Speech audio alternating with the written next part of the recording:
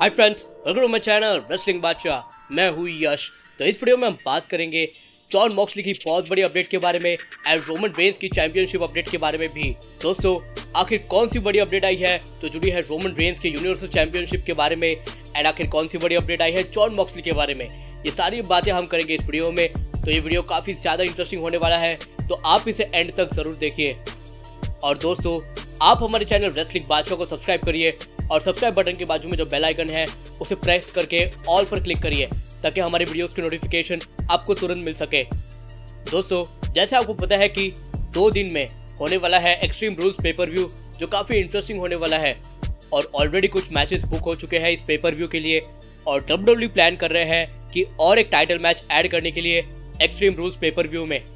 दोस्तों last SmackDown में Cesaro and Nakamura ने अटैक किया था न्यू डे को।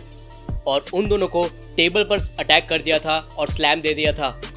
और इसी की वजह से एक स्टिपुलेशन वाली मैच बुक हो सकती है एक्सट्रीम रूल्स में।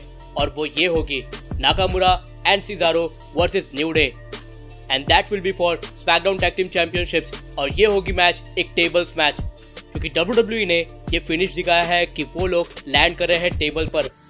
ऐसा डब्ल्यू ने पर्पसली बुक किया है ताकि इन दोनों की टेबल्स मैच हो सके एट एक्सट्रीम रूल्स तो फिर हमें देखना होगा कि आखिर कौन जीता है ये मैच क्या सिजारो एंड नाकामुरा बन जाते हैं new SmackDown tag team champions या फिर न्यू डे रिटेन करते हैं अपने स्मैकडाउन टैग टीम चैंपियनशिप्स चलिए अब बात करते हैं नेक्स्ट बड़ी अपडेट के बारे में जो जुड़ी है the big talk Roman Reigns से. दोस्तों, जैसे आपको पता है कि रेसलमेनिया 36 में रोमन रेंज वर्सेस गोल्डबर्ग की मैच होने वाली थी for universal championship but Roman Reigns के पीछे हटने के बाद उनकी प्लेस ले ली थी ब्रॉन स्ट्रोमैन ने।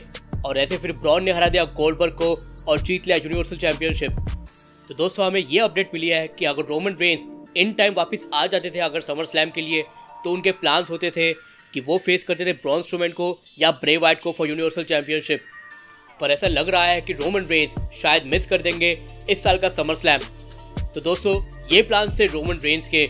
अगर वो रहते तो वो डेफिनेटली कम्पीट करते for universal championship against Braun या फिर द फ़ील्ड ए के ब्रे वाइट और दोस्तों, ये हो जाता समर स्लैम में कि ब्रॉन स्ट्रोमैन या फिर ब्रे वाइट ए के द फ़ील्ड को हरा कर रोमन रेंज जीत जाते थे universal championship and that too after a long time but unfortunately शायद रोमन रेंज नहीं आएँगे इस साल के समर स्लैम में। तो एक काफ़ी बड़ी ब्लो है डब्ल्यू के लिए। तो फिर देखना काफ़ी इंटरेस्टिंग होगा कि रोमन रेंज कभी आते हैं डब्ल्यू में। चलिए बात करते हैं मेगा अपडेट के बारे में जो जुड़ी है जॉन मॉक्सली से। दोस्तों ए ऑल एक्सक्यूज रेसलिंग के चैंपियन है Dean Ambrose aka Jon Moxley.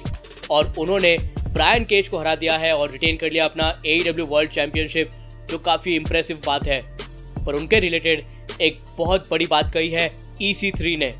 आपको पता है कि जब जब ई सी थ्री डब्ल्यू में अपियर होते थे, उन्हें अच्छी बुकिंग मिली ही नहीं है। उनका एक शॉर्ट प्रोग्राम था विद डीन एम्ब्रोस पर उसके बाद से उनका डाउनफॉल शुरू हुआ था। तो ई थ्री ने एक्सप्लेन किया कि आखिर क्या हुआ था तभी। ई थ्री ने पी डब्ल्यू इंसाइडर से इंटरव्यू दिया और वहाँ पर उन्होंने ये कहा कि डीन एम्ब्रोस ने कॉन्ट्रैक्ट साइन नहीं किया था और वो जाने वाले थे डब्ल्यूडब्ल्यूई से। इसलिए डब्ल्यू को उनको सबक सिखाना था और उन्हें एक टाइप से हील दिखाना था और ई थ्री को फेस और इसीलिए E three versus Dean Ambrose की मैच रखी गई थी, जहाँ पर ई थ्री ने विन हासिल कर ली थी। और डब्ल्यू वाले ये चाहते थे कि ई सी थ्री को चेयर मिले और डीन एम्ब्रोस को पू मिले। बट ऐसा हुआ नहीं। डब्ल्यू का यही इंटेंशन था फोर्सफुली कि ई सी थ्री एक बेबी फेस बनकर निकले और डीन एम्ब्रोस हील बनकर। बट डीन एम्ब्रोस को पीपल बू नहीं कर रहे थे, क्योंकि वो डीन एम्ब्रोस को काफ़ी पसंद करते थे। और डीन एम्ब्रोस भी काफ़ी अच्छे पर्सन है टू वर्क विथ पर ई सी थ्री ने डीन एम्ब्रोस को हराया था रोल अप से।